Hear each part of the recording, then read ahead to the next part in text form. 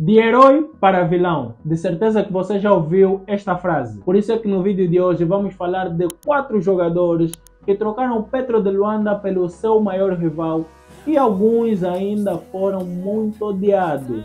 Então, sem mais demora, Bora pro vídeo! Em primeiro lugar, vamos falar de Isaac Correa, mais conhecido por Isaac, é um extremo direito e desde o Petro de Luanda foi adaptado para lateral direito e até hoje segue a sua carreira como lateral direito. Ele jogou pelo Recreativo do Libolo em 2010 e depois foi para o Progresso do Sanzanga, onde chamou a atenção do Petro de Luanda e acabou por comprá-lo em 2013. Isaac jogou no Petro de Luanda até 2015 e foi sempre titular, sendo adaptado de extremo para lateral direito e teve boas temporadas. E depois teve algumas situações, parecia que o Petro de Luanda já não quis renovar com Isaac e acabou por ir para o maior rival que é o 1 de agosto em 2015. Isaac está no 1 de agosto desde 2015 e até o momento continua no plantel e é um dos veteranos do plantel do 1 de agosto. Sem dizer que Isaac é um dos jogadores que está na casa dos milhões no 1 de agosto, ou seja,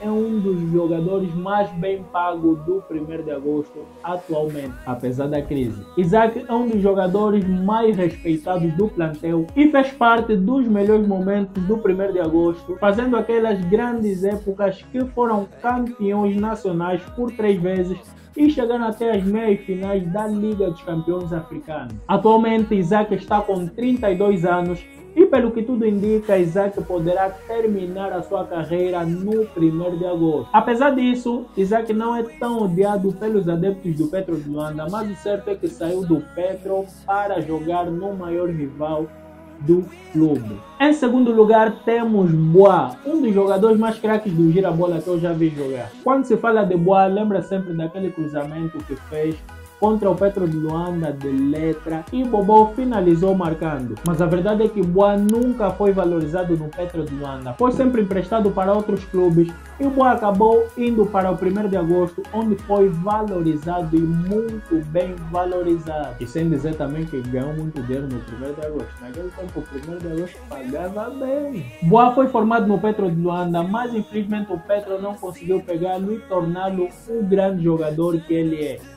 Na verdade, já era um grande jogador, mas o Petro não conseguiu ver o grande potencial que ele tinha e o 1 de agosto conseguiu potencializá-lo e o tornou um grande jogador do girabola. Hoje, Boa não joga pelo 1 de agosto, mas ficou desde 2014 até 2021 no clube. E a verdade é que ele mostrou que é um grande jogador no 1 de agosto e que o Petro de Luanda perdeu um verdadeiro craque. O outro jogador da lista chama-se Mabululu e ele também foi foi formado no Petro de Luanda. Mabululu foi apontado como uma das grandes promessas do futebol do Petro de Luanda. Chegou a jogar pelo Petro de Luanda por duas épocas no Girabola, mas infelizmente foi dispensado. Mabululu girou por vários clubes como Inter, Asa, Libolo e Domante, e foi no Domante que Mabululu explodiu e chamou a atenção do 1 de agosto, que acabou por contratá-lo. Mabululu então permaneceu no 1 de agosto de 2019 até 2021, onde acabou por se transferir para o Al-Ittihad da Alexandria do Egito. Digamos então que Mabululu se vingou do Petro, pois ele pretendia representar o Petro de Luanda, clube que o formou, mas infelizmente não conseguiu. Mabululu hoje é o melhor marcador do seu clube, Al-Ittihad da Alexandria, e um dos melhores marcadores da Liga Egípcia. Digamos que definitivamente o Petro perdeu mais uma joia e não conseguiu tirar todo o seu potencial. E o último da nossa lista, esse de certeza que muitos pensam que se arrependeu por trocar o Petro de Luanda pelo 1 de agosto, mas na verdade não se arrependeu, mas muitos adeptos acham que ele se arrependeu. Mas dos jogadores citados nessa lista, eu penso que esse é o mais odiado pelos adeptos do Petro de Luanda. Falamos de Erenilson. Esse definitivamente é o mais odiado da nossa lista pelos adeptos do Petro de Luanda. Tudo porque os adeptos criam que Erenilson ficasse. Erenilson estava em final de contrato e de repente Erenilson decidiu não renovar com o Petro de Luanda e decidiu trocar para o maior rival do Petro de. Isso definitivamente colocou um ódio nos adeptos do Petro de Luanda. Erenilson foi formado no Petro de Luanda e ia evoluindo muito bem na equipa principal, sendo o patrão do meio campo e já era convocado na seleção nacional. Em pleno fim do contrato, o Petro de Luanda quis renovar com Erenilson, mas havia um clube que estava financeiramente melhor e dominava o girabola já há três temporadas. Então o que, que Erenilson pensou? Eu quero ganhar títulos, quero ganhar o girabola e tá me pagar bem, então vou onde está a ganhar e onde está a pagar. Então Erenilson acabou por ir para o 1 de agosto e assinou um contrato de milhões, não só o contrato, mas também o seu salário. Isso vamos falar no final. E aí veio o ódio dos adeptos do Petro de Luanda ver uma das suas maiores joias trocando o clube pelo seu maior rival. E não é que essa aventura de Elenilson não deu tão certo assim. Em termos financeiros deu certo, mas em termos de conquista não deu certo. Elenilson saiu e onde foi para ganhar títulos, não conseguiu ganhar nenhum título. E o Petro de Luanda, em três temporadas, conseguiu ganhar dois girabolas. Em três.